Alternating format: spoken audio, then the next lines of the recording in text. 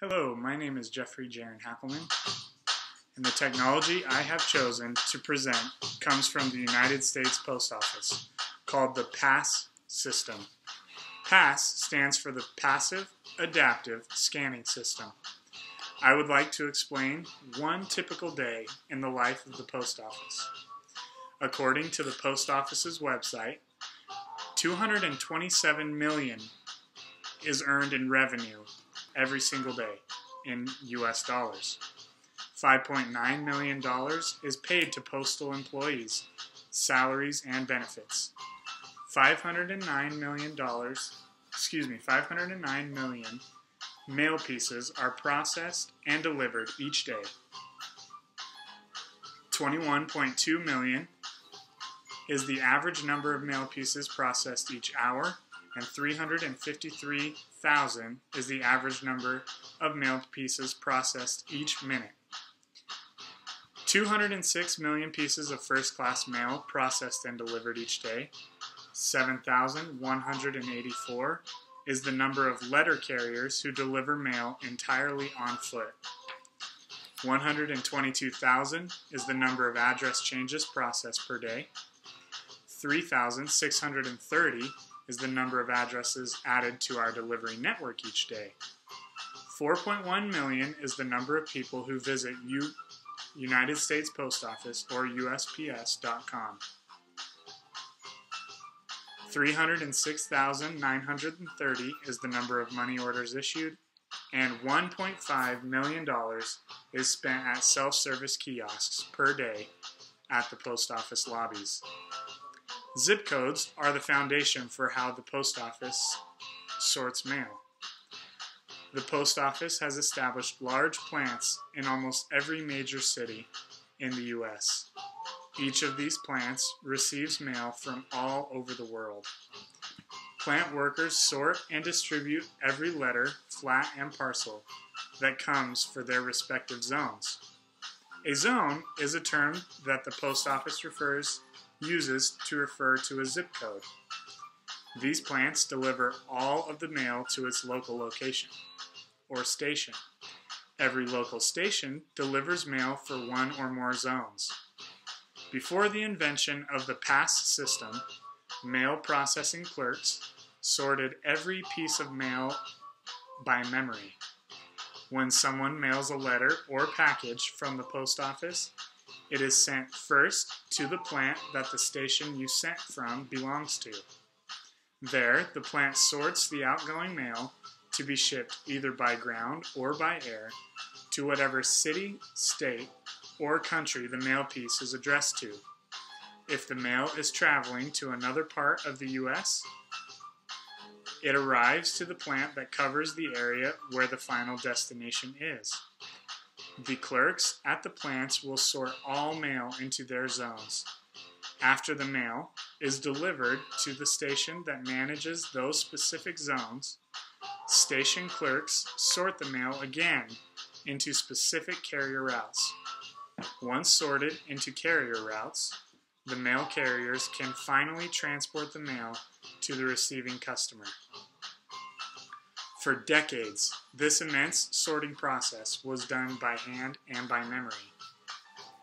Clerks working in the plants were required to memorize zone schemes. They had to be able to look at every address and make sure the zip code was correct and sort it to be taken to the right station. Local station clerks were also required to memorize schemes.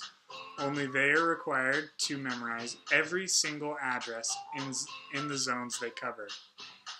They have to know what route to give it to. This is extremely challenging, especially when this process is always hard pressed to meet a deadline. The PASS system is a computer system that establishes mail tracking and automatic sorting.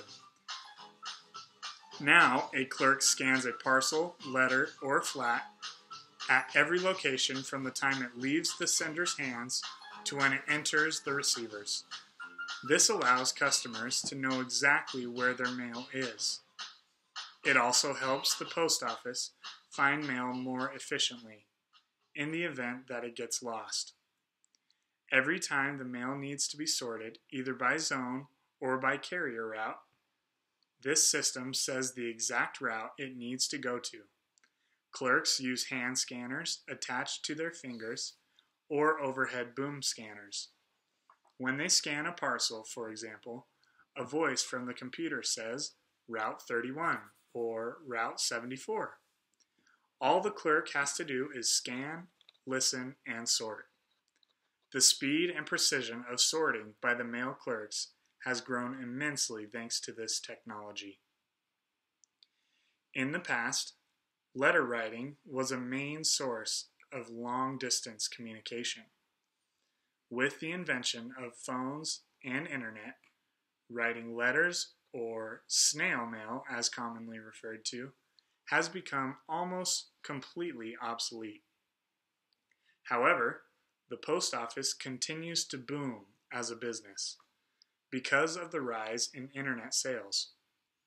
Almost every major retailer like Walmart, Target, Macy's, or JCPenney has websites where one has access to products that they can order from from the website itself. These websites not only contain a huge amount of products but also contain products that are not always sold in their normal retail locations. A person can place these online orders and receive them on their doorsteps in a matter of a few days. This has created a huge business for the post office.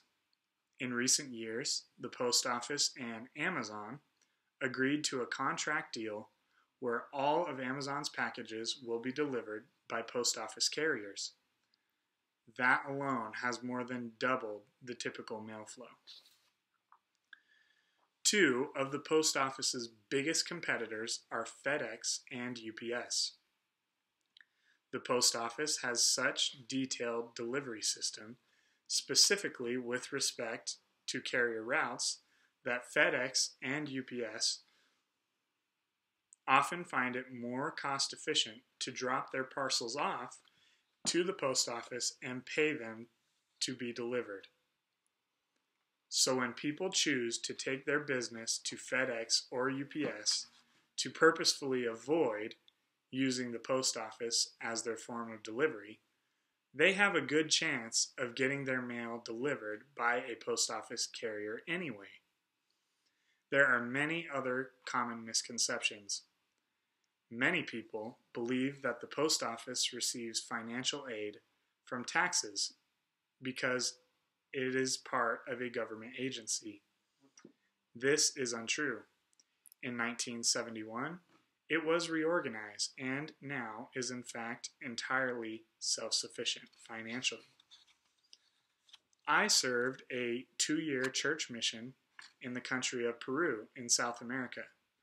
While serving there, I had little to no communication with the outside world as I served.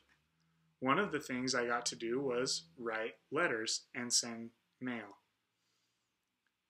While in Peru, I quickly learned that the postal service in that country was extremely unreliable. When people sent packages or mail through their service, they weren't always sure if the mail would arrive at its destination in a reasonable amount of time or even at all. A quick trick that I learned that helped me mail certain things was to mail items separately.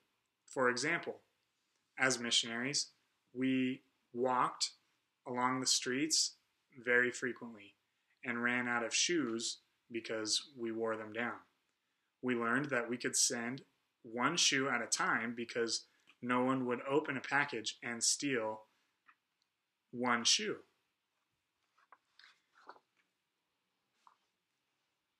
As frustrating as people can get with our, custard, with our country's postal service, I am happy to say that we will never have to worry about things of that nature when it comes to receiving our mail at the U.S. Post Office.